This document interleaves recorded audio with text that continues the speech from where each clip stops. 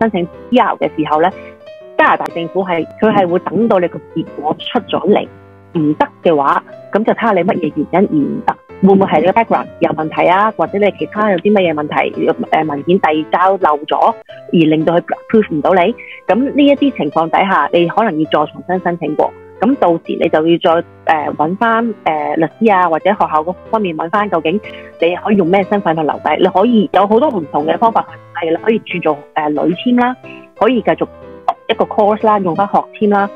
甚至乎你係可以申請一個暫暫時嘅 working permit 啦，都可以嘅。另外，